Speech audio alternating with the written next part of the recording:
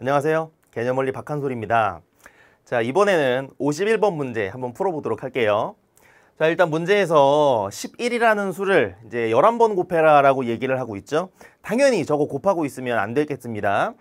어, 11이라는 녀석을 이제 11번 곱하기 싫기 때문에 저거를 빨리 하는 법, 뭐, 알고 있는 친구들도 있겠지만 배워봅시다. 자, 일단 이 문제를 풀기 위해 두 가지 정도를 좀 알아야 돼요. 일단 첫 번째로 당연히 a 플러스 b의 n제곱이라는 저 녀석을 전개할 줄 알아야겠죠. 저 전개한 녀석들의 개수를 이제 문제에서 물어보고 하는데 그 내용을 이항정리라고 부르잖아요. 자, 이 녀석들을 갖다가 다 전개할 수는 없으니 전개된 요 꼴을 외우고 있어도 괜찮고 앞쪽의 내용을 통해 이해하고 있는 게 좋을 것 같아요. 자, R이라는 녀석이 0부터 N까지 갈 때 A의 N, R승, 그 다음에 B, 아이고, 미안합니다. 오타가 났죠. 자, NCR이라는 개수가 하나 붙고요. 그 다음에 A의 R제곱, 그 다음에 B의 N-R제곱. 요런 형태를 갖는다라는 걸 우리는 이제 규칙을 통해 배웠죠. 그래서 만약에 뭐 11번을 곱하세요, 뭐 12번을 곱하세요 라고 할 때도 그 친구들을 다 곱하지 않고 내가 필요한 항만 이렇게 골라내는 연습을 앞에서 많이 했죠. 자, 그래서 이렇게 이항 정리를 통해 나에게 필요한 항의 개수만을 뽑을 줄 아는 상태가 일단 돼야 되겠고요. 두 번째로 자, 우리가 알고 있는 숫자 아무거나 예로 듭시다. 432라는 수를 갖다가 한번 표현해 볼게요. 자, 요 수는 이제 우리가 초등학교 때 배우는 내용인데 이제 자연수의 전개식이라는 게 있어요. 무슨 말이냐면 자, 이 친구를 100의 자리와 10의 자리와 1의 자리로 표현하는 방법입니다. 자, 4라는 수는 10의 제곱의 개수라고 보고 3이라는 수는 10의 한 제곱의 뭐 개수라고 보고 플러스 2라는 녀석은 이제 1의 개수라고 보면 되겠죠. 이해됩니까? 자 그러면 예를 들어 우리가 어, A, B, C라는 숫자를 표현할 때 이렇게 표현해주면 우리는 이 세 숫자를 곱했다고 얘기하잖아요. 그래가지고 사실 이런 어떤 전개식이 필요한 순간도 있으니 두 가지 정도를 좀 이해하고 있도록 합시다. 자 그러면 이 문제 접근해 보도록 할게요. 자 일단 우리는 요 이항 정리를 많이 했는데 어, 제일 많이 경험한 게 뭐죠? 그쵸?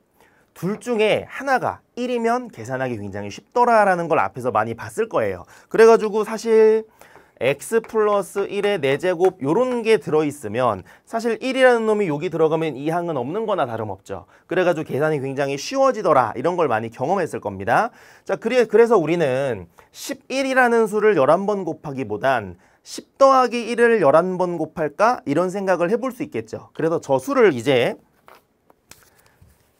11이라고 보지 않고 10 더하기 1에 11제곱이라고 보도록 할게요.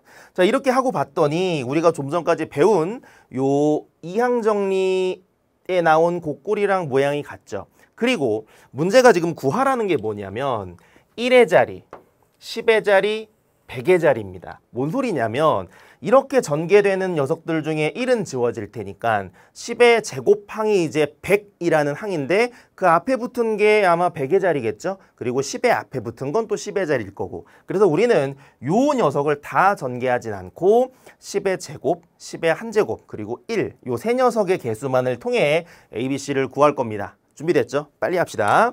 자, 그럼 우리는 요 녀석을 표현해 볼 때 마찬가지로 R은 0부터 11까지 11CR 아까 여기서 N이라는 녀석 대신에 현재 11이 써 있으니까 이렇게 들어간 거죠.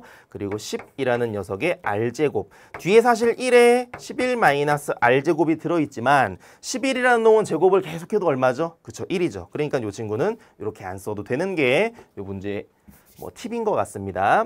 자 그럼 나에게 필요한 항을 구할 때 아래 그 수를 넣어주면 되는 거죠. 그래서 우리는 요 항을 다 구하진 않고 100의 자리 그리고 10의 자리 1의 자리만 구해보도록 합시다.